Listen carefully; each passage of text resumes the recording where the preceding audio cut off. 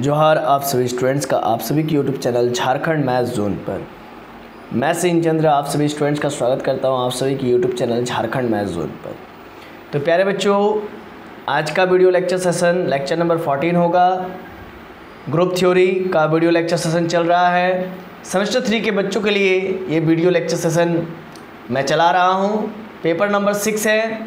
All universities के लिए ये वीडियो लेक्चर्स है। चाहे आप झारखंड के किसी भी यूनिवर्सिटी से क्यों ना पढ़ रहे हो, या फिर इंडिया के किसी भी यूनिवर्सिटी से क्यों ना आप पढ़ रहे हो, झारखंड में मोस्ट ऑफ़ दी जो यूनिवर्सिटीज़ चलती है B B M K U V V U S K M U और भी अदर्स जितने भी, है ना एल एन एम यू जो कि बिहार में चलती है, ठीक है जितने भी यूनिवर्सिटीज़ से आप क्यों ना बिलोंग करते हो, कोई भी आप यूनिवर्सिटी से क्यों ना बिलोंग करते हो तो आपके लिए ही ये ग्रुप थ्योरी का वीडियो लेक्चर सेशन में बना रहा हूँ, जिसमें मैं आप लोगों के बुक से बुक का ही एग्जाम्पल्स मैं डील कर रहा हूँ और ये एग्ज़ाम्पल नंबर नाइन डील करने वाला हूँ और इससे पहले एग्ज़ाम्पल नंबर एट तक मैं डील कर चुका हूँ। और ये टोटली लालजी प्रसाद से रिलेटेड है है ना? लालजी प्रसाद बुक का है। और जब जब थ्योरम और थ्योरी की बारी आएगी, जब जब थ्योरम और थ्योरी की बारी आएगी, तब तक मैं बोर्ड पे बता दूँगा। और जब एग्जांपल्स इस प्रकार से, इतना वास्ट एग्जांपल्स है, बहुत लंबा लंबा मतलब जो है कि बहुत ज़्यादा ही एग्जांपल्स है है ना? नंबर ऑफ़ एग्जांपल्स बहुत ज़्यादा है। इसी वजह से हम लोग जो है कि इसका सहारा लेना पड़ रहा है। ओके चलिए स्टार्ट करते हैं। Example number nine prove that the set of non zero इसको जूम कर लूँ? हाँ. Prove that the set of non zero real numbers forms an abelian group under multiplication हमको प्रूव करना है कि नन ज़ीरो रियल नंबर वहाँ पर हम लोग बात किए थे एग्ज़ाम्पल नंबर एट में। आ, मुझे याद है ठीक है? एग्ज़ाम्पल नंबर एट नहीं। आ, एग्ज़ाम्पल नंबर सेवन में मैंने आपसे बात किया था नन ज़ीरो रैशनल नंबर पर, ठीक है? और अब एग्ज़ाम्पल नंबर नाइन पे आप सभी से बात कर रहा हूँ नन ज़ीरो रियल नंबर पर, है ना? तो याद रखिए कि यहाँ पर प्रूफ क्या करना है? पहले समझिए क्वेश्चन को। यहाँ पर प्रूफ क्या करना है कि नन ज़ीरो रियल नंबर का जो सेट बनता है, वो एक अबेलियन ग्रुप बनाता है अंडर मल्टीप्लिकेशन बाइनरी ऑपरेशन मतलब जो आपका ऑपरेशन दिया हुआ है, वो बाइनरी ऑपरेशन होना चाहिए, है ना? तो उस केस में ये जो रियल नंबर नन ज़ीरो है, जो real number non zero real number का जो सेट है, वो एक अबेलियन ग्रुप बनाएगा, है ना? तो ये क्लियर है? चलिए, अब आगे हम लोग इसको प्रूफ करते हैं। तो अगर अब एलियन बनाएगा तो ऑब्वियस सी बात है कि पाँचों प्रॉपर्टीज़ को सेटिस्फाइड करेगा ही करेगा। अब पहले तो ग्रुप बनेगा ही करे, बनेगा गारंटी है। चलिए देखते हैं कि करता है कि नहीं। सबसे पहले क्या करेंगे? लेट आर स्टार है ना? मतलब इसको हम लोग क्या कहते हैं? ये जो आर को लिखने का तरीका है, इसको हम लोग स्ट्रिक्टली रियल नंबर कहते हैं। लेकिन इसमें हम क्या कर रहे हैं कि ज़ीरो को रिमूव कर रहे हैं ज़ीरो को हटा दे रहे हैं। है ना? तो उसमें इसीलिए स्टार लगा रहे हैं ताकि वो नन ज़ीरो रियल नंबर के सेट को रिप्रेजेंट कर सके। है ना?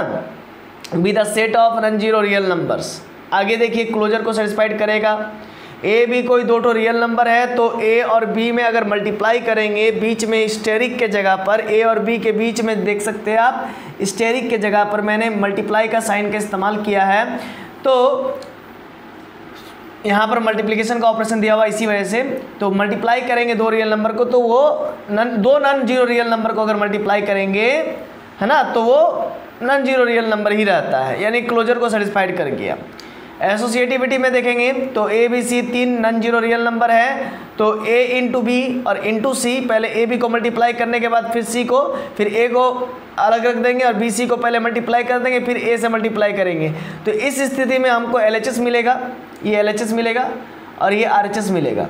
और हम लोग को पता ये चलेगा कि LHS और RHS जो है कि दोनों वैल्यू आपस में बराबर आएगा, हर हालत में। आप ए का वैल्यू कोई भी नन ज़ीरो रियल नंबर उठा के रख लीजिए टू थ्री फोर कुछ भी कुछ भी आपको जो मन कर रहा है रख लीजिए।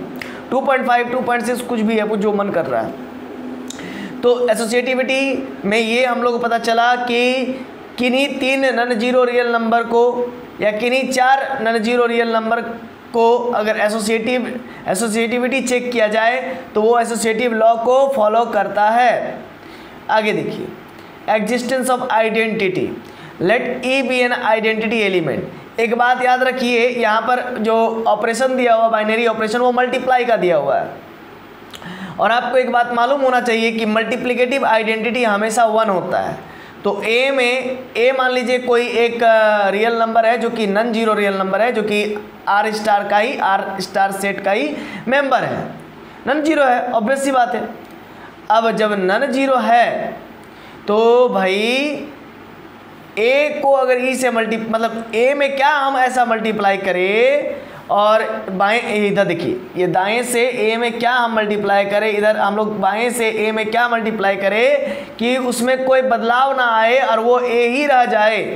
तो ऐसा नंबर जिसको मल्टीप्लाई करने के बाद किसी भी नंबर में, किसी भी नंबर में अगर हम उस नंबर को अगर मल्टीप्लाई करें और उस नंबर के मल्टीप्लाई करने से मेरा ए अगर बदले नहीं, मेरा ए में बदलाव नहीं आए तो फिर उस ई e नंबर को हम आइडेंटिटी इलामेंट कहते हैं।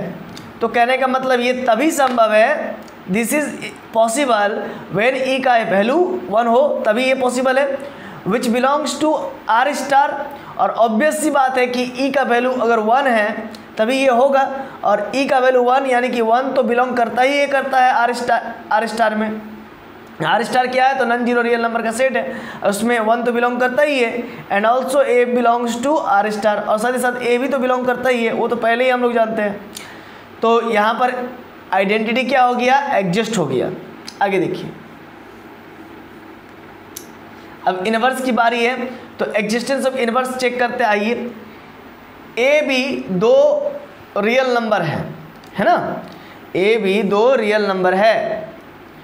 और कैसा रियल नंबर है? तो नन ज़ीरो रियल नंबर है। तो ए को बी से मल्टीप्लाई कीजिए, है ना? मतलब ऐसा समझिए, हमको यहाँ पर क्या चाहिए? इनवर्स चाहिए। हमको यहाँ पर क्या चाहिए? इनवर्स चाहिए, है ना? तो ए में हम क्या ऐसा मल्टीप्लाई करेंगे? क्या? ए में हम क्या ऐसा मल्टीप्लाई करेंगे? देखिए, समझिएगा यहाँ पर। यहाँ पर ए और बी दो ठो नन ज़ीरो रियल नंबर है, ये एकदम गारंटी है कि नन ज़ीरो रियल नंबर है। कन्फर्म है। ओके तो भाई ए में हम ऐसा क्या मल्टीप्लाई करेंगे? है ना? दाएँ से। और ए में ऐसा हम क्या मल्टीप्लाई करेंगे? बाएँ से। ए में ऐसा हम क्या मल्टीप्लाई करेंगे? दाएँ से। और ए में ऐसा हम क्या मल्टीप्लाई करेंगे? बाएँ से। तो बी मल्टीप्लाई करेंगे। जिससे कि हमारा ई e हो जाए आइडेंटिटी इलामेंट आ जाए। और हम लोग पहले ही देख चुके हैं कि आइडेंटिटी इलामेंट मेरा वन है। तो ए में हम क्या मल्टीप्लाई करेंगे? बाएँ से। और ए में हम क्या मल्टीप्लाई करेंगे? दाएँ से।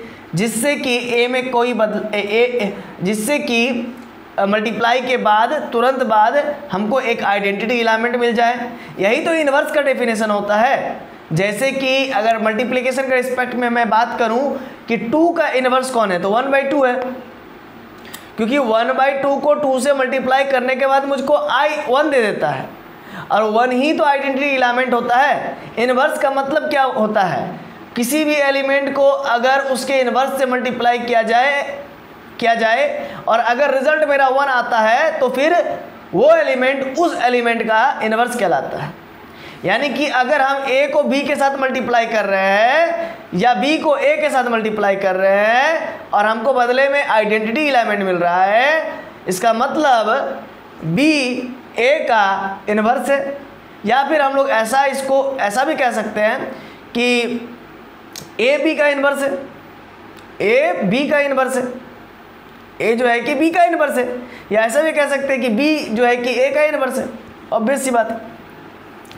आइए, आगे देखते हैं। इट इज़ पॉसिबल ये संभव है तभी, जब वेन बी का वैल्यू वन बाई ए हो। बी का वैल्यू अगर वन बाई ए होगा, तभी तो ए ए कटेगा, तभी तो वो रियल नंबर बन पाएगा। सॉरी आइडेंटिटी बन पाएगा। ये तभी पॉसिबल है जब बी का वैल्यू मेरा वन बाई ए होगा। वन बाई ए होगा तो ए कटेगा, है ना? तभी तो वो आइडेंटिटी एलिमेंट ई बन पाएगा और ई का वैल्यू वन है। तो वन आ पाएगा, जो कि नन ज़ीरो भी है और आर स्टार में भी बिलोंग करता है है ना? जो आर स्टार में बिलोंग करता है मतलब नन ज़ीरो रियल नंबर के सेट में भी बिलोंग करता है। Here B is A inverse of A तो यहाँ पर आप देख सकते हो कि बी जो है, वो ए का इनवर्स बन गया। इसका मतलब यहाँ पर इनवर्स एग्जिस्ट करता है। किसी भी नंबर को आप रेसिप्रोकल करो या फ्रैक्शन में करो, उससे कोई मतलब नहीं है, वो तो रियल नंबर होता ही है होता है। और एक बात है कि अगर नन ज़ीरो रियल नंबर है, तब उसका हम लोग जो है कि रेसिप्रोकल कर सकते हैं। ज़ीरो रियल नंबर है, लेकिन उसको हम लोग रेसिप्रोकल नहीं कर सकते हैं, क्योंकि वो नन ज़ीरो रियल नंबर नहीं है वो। वो ज़ीरो रियल नंबर है। ज़ीरो मेरा ज़ीरो रियल नंबर है। इसीलिए अगर हम ज़ीरो का अगर रेसिप्रोकल करना चाहेंगे तो वन बाई ज़ीरो हो जाएगा। तो यहाँ पर एक झमेला हो जाएगा क्रिएट कि वन बाई ज़ीरो अनडिफाइंड होता है। और यहाँ पर मैं नन ज़ीरो रियल नंबर क्यों लिया था, अब आपको शायद समझ में आ रहा होगा। क्यों? क्योंकि नन ज़ीरो रियल नंबर का हम लोग इनवर्स फाइंड आउट कर सकते हैं। जैसे ए कोई नन ज़ीरो रियल नंबर है, इसीलिए उसका इनवर्स एग्जिस्ट किया वन बाई ए जो कि बी के फॉर्म में है। B equal to one by hence all hence all four axioms are satisfied संतुष्ट हो गया सारा का सारा, चारों के चारों conditions therefore the set of non zero real number इसीलिए set of non zero real number एक ग्रुप बना रहा है. Under multiplication operation under multiplication binary operation अब चलिए आगे देखते हैं कम्यूटेटिव ए बी कोई दो ठो, नन ज़ीरो रियल नंबर है और ए और बी में, चूँकि हम लोग को क्या दिया हुआ है मल्टीप्लिकेशन का साइन दिया हुआ है। ऑपरेशन क्या दिया हुआ? मल्टीप्लिकेशन का ऑपरेशन है ना? तो यहाँ पर मैं क्या किया हूँ? ए स्टेरिक बी और बी स्टेरिक ए किया हूँ। मैं स्टेरिक के जगह पर मैं इंटू को लगाना चाह रहा हूँ ओके तो मैं नेक्स्ट स्टेप में डेटिज करके भी कर दिया हूँ ए इंटू बी चाहे बी इंटू ए करो। आप कोई भी दो two non zero real number उठा लो, है ना? अब उन दो रियल नंबर को मल्टीप्लाई करो आपस में, है ना? जैसे कि मैंने वन और टू को उठा लिया ए के जगह पर वन और बी के जगह पर टू आप कुछ भी उठा सकते हो 2.5 2.6 कुछ भी आपकी जो इच्छा कर रहा है। 0.33 कोई इरेशनल भी उठा लो, क्या दिक्कत है? हम लोग तो रियल नंबर पर बात कर रहे हैं ना? तो रैशनल रहे चाहे इरेशनल रहे या कॉम्प्लेक्स एक कॉम्प्लेक्स नहीं, है ना? रैशनल रहे चाहे इरेशनल रहे, चाहे नेचुरल रहे, चाहे होल रहे, चाहे इंटीजर्स रहे, ये सब सब जो है कि रियल नंबर में आता है। लेकिन कॉम्प्लेक्स का मैं बात नहीं कर रहा हूँ इमेजनरी नंबर का मैं बात नहीं कर रहा हूँ, मैं रियल का बात कर रहा हूँ। तो आप ए को बी के साथ मल्टीप्लाई करो, चाहे बी को ए के साथ मल्टीप्लाई करो। यानी कि आप वन को टू के साथ मल्टीप्लाई करो, चाहे टू को वन के साथ मल्टीप्लाई करो, हर हालत में L H S R L H S बराबर आएगा। इसी वजह से ये कॉमुटेटिव भी हो गया। यानी कि डज ऑल फाइव देखिए, मेरा फाइव लिखने का स्टाइल भी देखिए, गजब है ना? पाँच लिख के आइव लिख दिए। चलिए, कोई दिक्कत नहीं। Thus all five postulates are satisfied पाँचों के पाँचों पॉस्चुलेट्स सेटिस्फाइड हो गए। एंड हैंस आर स्टेरिक इसी वजह से आर स्टेरिक जो कि नॉन ज़ीरो रियल नंबर का सेट है, वो क्या बन गया? Is an abelian group under multiplication चलिए, अब आगे बढ़ते हैं, कुछ नोट देख लेते हैं।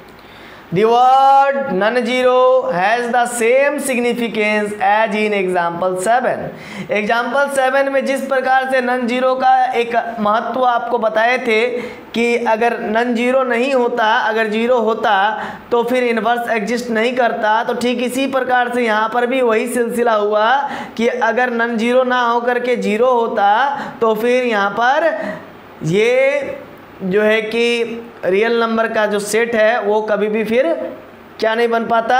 ग्रुप नहीं बन पाता। हाँ नन ज़ीरो का real number non zero real number का सेट ग्रुप बनता है है ना? मल्टीप्लिकेशन के रिस्पेक्ट में।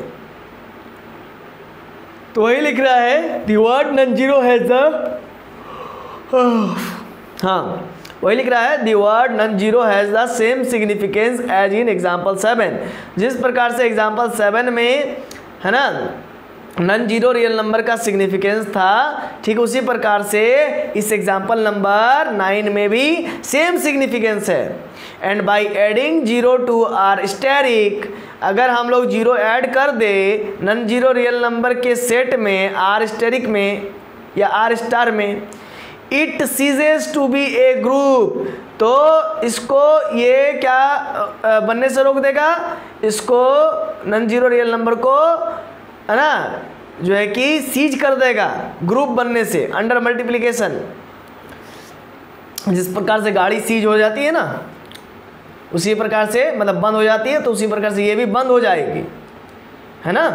ग्रुप अंडर मल्टीप्लिकेशन यानी कि याद रखिएगा आर स्टेरिक में हमको ज़ीरो जोड़ना नहीं है। फॉर द सिंपल रीजन ये छोटा मोटा रीजन के वजह से that there is no multiplicative inverse of zero in R asterisk R star यानी कि इस छोटा मोटा ज़ीरो के कारण, है ना, मेरा इन्वर्स एग्जिस्ट नहीं करेगा, जिसके वजह से मेरा नन ज़ीरो रियल नंबर का सेट फिर ग्रुप नहीं बन पाएगा। इसीलिए ज़ीरो को हटा देते हैं। इसीलिए तो इसीलिए तो नन ज़ीरो रियल नंबर बोल रहे हैं। चलिए एग्ज़ाम्पल नंबर टेन देख लेते prove that the set of complex number is an abelian group under multiplication हमको दिखलाना है कि complex number complex number complex number का जो सेट बनता है, वो एक अबेलियन ग्रुप बनाता है अंडर एडिशन में. ओके आइए देखते कैसे इसको प्रूव किया जाए. लेट मान लेते हैं कि C be the set of complex numbers that is the numbers of the form तो कम्प्लेक्स नंबर इसी प्रकार से मिलता है x plus iota y where x and y are real number जहाँ पर एक्स और वाई एक रियल नंबर होता है, और आयोटा क्या होता है तो root under minus one imaginary number आगे देखिए। मैं क्लोजर को देखता हूँ कि कर रहा है कि नहीं सेटिस्फाइड क्लोजर में करने के लिए सेटिस्फाइड करवाने के लिए सबसे पहले देखना पड़ेगा लेट ए बराबर कोई एक कम्प्लेक्स नंबर बनाना पड़ेगा तो मान लेते ए कोई कम्प्लेक्स नंबर है और वो एम प्लस और वो एम प्लस आयोटा एन के फॉर्म में है, जो कि सी में बिलोंग कर रहा है कॉम्प्लेक्स नंबर के सेट में बिलोंग कर रहा है। ठीक उसी प्रकार से बी को एक दूसरा कॉम्प्लेक्स नंबर बनाते हैं और वो p plus i i plus i q के फॉर्म में है, जो कि कॉम्प्लेक्स नंबर में ही बिलोंग कर रहा है। अब ए प्लस बी को ए प्लस बी को हम बारी बारी से जोड़ेंगे। ए के जगह पर ए रख देंगे बी के जगह पर बी रख देंगे एम और पी रियल पार्ट को एक अलग करेंगे और आयोटा के साथ imaginary part n plus q को अलग करेंगे। आगे देखिए एम पी एन क्यू ये सभी के सभी रियल नंबर में बिलोंग करते हैं रियल नंबर है। ऑल्सो एम प्लस पी ये भी एम प्लस पी भी और एन प्लस क्यू भी एक रियल नंबर्स है है ना? हालाँकि m plus p real part है और n plus q imaginary part है। है ना? बट याद रखिए n plus q real number भी है। मतलब इमेजनरी के साथ जो है, उसको इमेजनरी पार्ट कहते हैं। और जो रियल है, उसको रियल है ही है। आगे है लेट एम प्लस पी को हमने एस मान लिया और एन प्लस क्यू को हमने टी मान लिया। एस और टी तब रियल नंबर है ही है। और ए प्लस बी मेरा क्या हो जाएगा? ए के जगह पर, मेरा क्या सॉरी मेरा एम प्लस पी के जगह पर क्या हो जाएगा? एस हो जाएगा। ए के जगह पर तो ए ही है बी के जगह पर बी ही है। और आई के जगह पर आई आयोटा के जगह पर आयोटा है और एन प्लस क्यू के जगह पर तब मेरा क्या हो गया? कैपिटल टी और ये भी मेरा कॉम्प्लेक्स नंबर में ही बिलोंग करेगा। है ना? इसका मतलब मैंने दो कॉम्प्लेक्स नंबर को लिया और दिखा दिया कि उनका जो एडिशन के रिस्पेक्ट में, हमको एडिशन के रिस्पेक्ट में ही दिखाना था, देख लीजिए। अंडर एडिशन मैंने दिखा दिया कि एडिशन के रिस्पेक्ट में ये एक कॉम्प्लेक्स नंबर ही फॉर्म कर रहा है। ठीक है? कॉम्प्लेक्स नंबर ही फॉर्म कर रहा है which is of the form x plus iota y और एस प्लस आयोटा टी को आप गौर से देखिए तो पता चलेगा कि ये भी एक्स प्लस आयोटा टी के फॉर्म में ही है। नेक्स्ट है, इसको लिख देंगे नेक्स्ट में क्या लिखेंगे नेक्स्ट एसोसिएटिव लॉ को देखेंगे चेक करेंगे कि फॉलो करता है कि नहीं। ए को मैंने कोई complex number m plus iota n माना है बी बराबर आयोटा क्यू और सी बराबर मैंने कोई तीसरा एक complex number u plus iota भी मान लिया है। अब मैं बारी बारी से चेक करूँगा पहले एन फिर R a plus b plus c और आर में क्या होगा? A plus b plus c होगा, ठीक है? तो ए का वैल्यू रखा, मैंने बी का वैल्यू रखा सी का वैल्यू रखा। रखने के बाद एक तरफ़ मैंने रियल पार्ट किया, एक तरफ़ मैंने इमेजनरी पार्ट किया और a plus a plus b और प्लस सी अब ये इक्वेशन वन हुआ इक्वेशन टू निकालते हैं ए का वैल्यू रखो बी का वैल्यू रखो और सी का वैल्यू अलग से रख दो।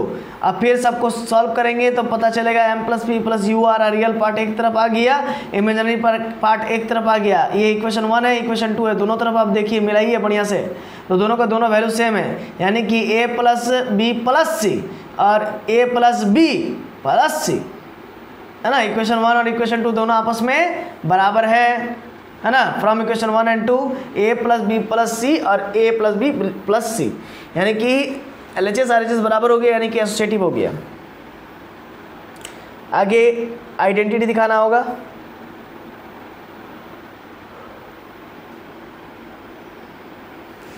एग्जिस्टेंस ऑफ़ आइडेंटिटी मैंने माना क्या?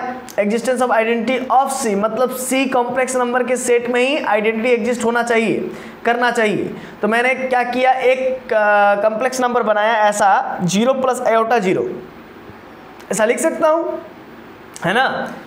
एडिशन के रिस्पेक्ट में हमेशा याद रखिएगा, जो आइडेंटिटी इलामेंट होता है, वो ज़ीरो होता है। और मल्टीप्लिकेशन के रिस्पेक्ट में वो होता है कौन? वन होता है। तो यहाँ पर ज़ीरो तो अगर लिख देंगे सिर्फ़ तो वो तो कॉम्प्लेक्स नंबर नहीं होगा। इसीलिए ज़ीरो को मैं ज़ीरो प्लस आयोटा ज़ीरो लिखा हूँ, ताकि मैं ये आपको बता सकूँ कि ज़ीरो भी एक कॉम्प्लेक्स नंबर है। क्यों भला? क्योंकि जितना भी रियल नंबर है, वो सारा का सारा कॉम्प्लेक्स नंबर है। याद रखिएगा ये बात। क्योंकि अगर वन एक रियल नंबर है तो उसको भी उस वन को भी मैं ऐसा लिख सकता हूँ one plus iota into zero. Obvious सी बात है। लेकिन याद रखिएगा, सारा कॉम्प्लेक्स नंबर सारा कॉम्प्लेक्स क्या हाँ वही बात है, सारा कॉम्प्लेक्स नंबर कभी भी रियल नहीं बन सकता है। क्योंकि मान लीजिए कोई एक कॉम्प्लेक्स नंबर रहता है जैसे कि टू प्लस एयोटा टू तो वो एक कॉम्प्लेक्स नंबर है। तो वो तो फिर रियल तो नहीं है, लेकिन जितना भी रियल नंबर है, वो कॉम्प्लेक्स हो सकता है। तो माना क्या कि let e be the identity of C मैंने सी से कॉम्प्लेक्स नंबर का मैंने ई e को आइडेंटिटी मान लिया। अब ई e बराबर ज़ीरो ले लिया और ये ज़ीरो बिलोंग कर रहा है सी कॉम्प्लेक्स नंबर में। अब ए में आप क्या जोड़ोगे? ए कॉम्प्लेक्स नंबर है ऑलरेडी ए में आप क्या जोड़ोगे ऐसा चीज़? है ना? दाएँ से। ए में क्या ऐसा जोड़ोगे? बाएँ से। जिससे कि आपका रिज़ल्ट ए मिल जाए आपको। मतलब ए में कोई बदलाव ना आए। तो ई e का वैल्यू हम ज़ीरो ई की जगह पर ज़ीरो जोड़ेंगे। और साथ ही साथ हम देख पा रहे हैं कि ए बराबर एम प्लस आयोटा एन है, जो कि बिलोंग करता है सी में। यानी कि यहाँ पर आइडेंटिटी भी एग्जिस्ट कर गया। अब क्या है कि ए प्लस ई के जगह पर ज़ीरो और ई के जगह पर ज़ीरो इक्वल टू ए हो गया, ठीक है ना? Zero plus a equal to a और a plus zero equal to a identity exist हो गया, अब इनवर्स चेक करेंगे। एग्जिस्टेंस ऑफ़ इनवर्स ए बराबर हमने एम प्लस एओटा एन ले लिया। है ना? एक कॉम्प्लेक्स नंबर अब एक काम करते हैं, मैं ए में माइनस ऐड कर देता हूँ। मल्टीप्लाई कर देता हूँ मतलब। ऐड नहीं मल्टीप्लाई कर देता हूँ। तो क्या हो जाएगा? ए का वैल्यू में माइनस हो जाएगा। Just minus bracket of m plus iota n iota n तो minus m minus iota n और ये एक कॉम्प्लेक्स नंबर है, ठीक है ना? तो यानी कि मेरा जो है कि मैं ऐसा कह सकता हूँ कि मान ले, मैं मान लेता हूँ कि एडिशन हम लोग को बाइनरी ऑपरेशन दिया हुआ है तो ए का इन्वर्स कौन हो गया? तो माइनस ए हो गया। Simply a minus a zero हो जाएगा। और ज़ीरो मेरा क्या है? आइडेंटिटी इलामेंट है। है ना? और यही हमको प्रूफ करना होगा। तो चलिए नेक्स्ट स्टेप में देखते हैं। मान लेते हैं, सबसे पहले मान लेते हैं कि let b is the additive inverse of a तो बी बराबर माइनस ए होगा, तब ए प्लस बी और बी प्लस ए तब आइडेंटिटी इलामेंट आना चाहिए। तो मैं एक काम करता हूँ कि ए प्लस बी को लेके चलता हूँ, है ना? पहले ए के जगह पर रखो वैल्यू और बी का जगह पर माइनस ए है। यानी कि minus m plus n okay अब एक तरफ़ रियल को रखेंगे और एक तरफ़ इमेजनरी को रखेंगे। Real part m minus m हो गया और आयोटा n माइनस एन जो कि ज़ीरो आया, अब प्लस आयोटा इंटू ज़ीरो आया, यानी कि ज़ीरो ही आया, जो कि आइडेंटिटी एलिमेंट ही आया, यानी कि ज़ीरो बिलोंग करता है कॉम्प्लेक्स नंबर में। तो यहाँ पर इन्वर्स भी एग्जिस्ट हो गया, यानी कि सिंपली ये बात है कि वो नंबर कौन सा नंबर होगा, जिसको हम मल्टी ऐड करें ए के साथ कि वो हमको आइडेंटिटी एलिमेंट दे दे। यानी कि साफ़ साफ़ ये कहना चाह रहा है कि उस एलिमेंट को जो ए के साथ जोड़ा जाए और हमको ज़ीरो दे दे तो उस एलिमेंट को ए ए का इन्वर्स कहा जाएगा। उस एलिमेंट को क्या कहा जाएगा? ए का इन्वर्स कहा जाएगा। इतना है। अब ए प्लस बी चेक हो गया बी प्लस ए चेक कर लेते हैं बी का वैल्यू रख दिया मैंने ए का वैल्यू रख दिया। फिर एक तरफ़ रियल पार्ट को, एक तरफ़ इमेजिनरी पार्ट को तो फिर से ज़ीरो आ गया ए भी बिलोंग किया सी में। मतलब मैंने दोनों तरफ़ देख लिया दोनों तरफ़ से देख लिया। चलिए मतलब चारों के चारों कंडीशन सेटिस्फाइड हो गया। The all four postulates are satisfied so set of complex number is a group under addition चलिए लास्ट एक एग्ज़ाम्पल बचा हुआ है। अच्छा इसको कॉम्पिटेटिव भी दिखाना था ना? एग्ज़ाम्पल इलेवन हाँ तो आइए इसको दिखा देते हैं कॉम्पिटेटिव ए भी कोई दो ठो कॉम्प्लेक्स नंबर है। मान लेते हैं ए का वैल्यू ये है और एम प्लस आयोटा एन और बी का value p plus iota q पहले तो ए प्लस बी निकालेंगे एल चेक कर लेंगे और फिर आर चेक कर लेंगे, दोनों का वैल्यू सेम आता है तो कह देंगे कि कॉम्पिटेटिव है। तब कह देंगे कि कॉम्पिटेटिव है। ए का वैल्यू मैंने ले लिया एम प्लस आयोटा एन और बी का वैल्यू मैंने ले लिया पी प्लस आयोटा क्यू और मैंने रियल पार्ट को एक तरफ़ किया इमेजनरी पार्ट को एक तरफ़ किया, इसको इक्वेशन वन का नाम दे दिया। ओके अब बी प्लस ए लेते हैं। बी का value p plus iota q ले लिए। और ए का value m plus iota n ले लिए। एक तरफ़ रियल पार्ट को किया, एक तरफ़ इमेजनरी पार्ट को किया। और रिज़ल्ट आया मेरा m plus p iota n plus q ये इक्वेशन नंबर टू मान लिया। तो इक्वेशन नंबर वन को गौर से देखिए और टू को गौर से देखिए। दोनों वैल्यू सेम है। यहाँ, इसीलिए यहाँ पर लिख देंगे from equation one and two we have a plus b बराबर b plus a hence a b is commutative इसीलिए ए जो है कि ए भी कॉमोटेटिव हो गया. Hence all five postulates are satisfied पाँचों के पाँचों कंडीशन सेटिस्फाइड हो गया. Therefore set of complex number is an abelian group under addition है ना? आइए आगे देखते हैं.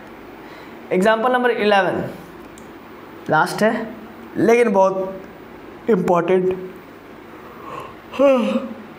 आइए. देखते हैं। Prove that the set of non zero complex number एक मिनट हम पानी पी लेते हैं।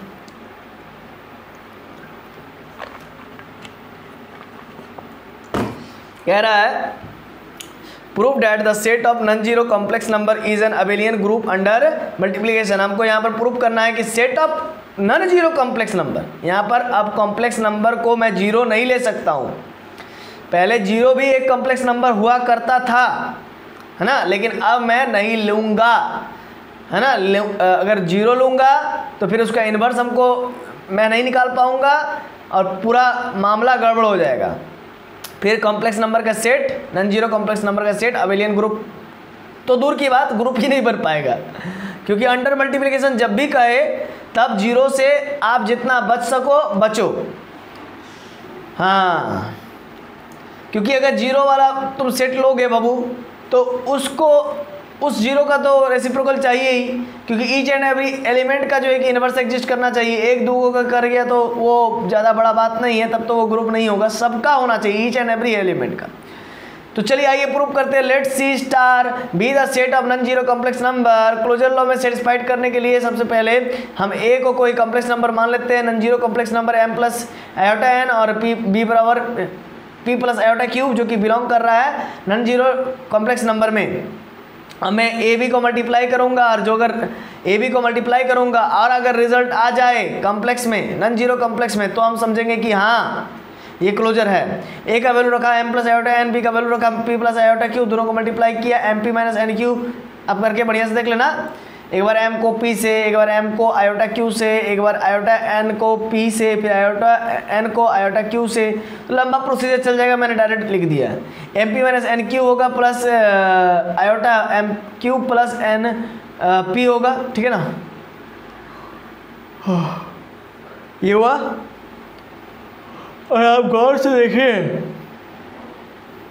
m p minus n q एक रियल नंबर आ रहा है।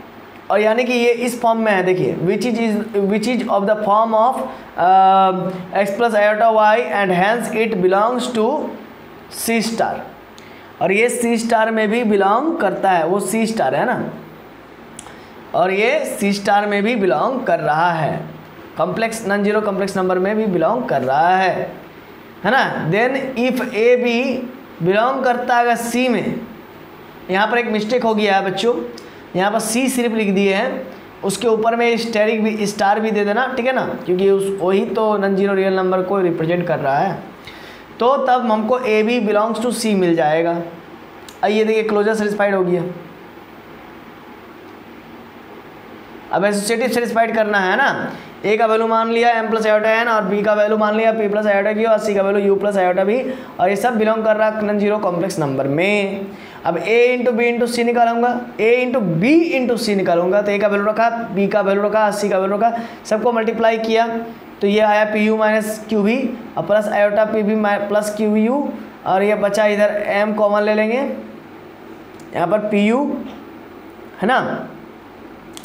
आप देख सकते हो एम को एम कॉमन ले लेंगे एम को हम P U minus Q V से मल्टीप्लाई करेंगे, फिर एम को मैं iota M into P V plus Q U Q U से मल्टीप्लाई करेंगे प्लस फिर आयोटा एन को मैं P U minus Q V से मल्टीप्लाई करेंगे, फिर आयोटा एन को मैं iota P V plus Q U से मल्टीप्लाई करेंगे और आयोटा आयोटा आई स्क्वायर हो जाएगा, ठीक है ना? मतलब आई स्क्वायर का मतलब एन क्या हो जाएगा? एन हो जाएगा ओके माइनस एन आयोटा का स्क्वायर का मतलब क्या होता है? माइनस वन तो माइनस एन हो जाएगा। अब इधर आपका हो गया एम पी यू और एम क्यू भी और एन पी भी और एन क्यू यू हो गया? अब प्लस आयोटा कॉमन लिया तो एम पी बी और एम क्यू यू ये ये पूरा मैंने एक तरफ़ रियल पार्ट को छाट के रख दिया, एक तरफ़ इमेजनरी पार्ट को छाट के रख दिया। तो चलिए मैंने क्या किया काम? A into B into C निकाला। अब आप इसी प्रकार से ए इंटू बी और इंटू सी निकालोगे, ठीक है ना? सेम प्रोसीजर है बाबू, ठीक है? चलिए। तो इसके बाद फिर देखोगे क्या? ये इक्वेशन नंबर वन है और ये इक्वेशन नंबर टू है। दोनों का दोनों वैल्यू आप देखो बढ़िया से बराबर है। देख लो। वन देखा? अब टू देखो भाई। ठीक है?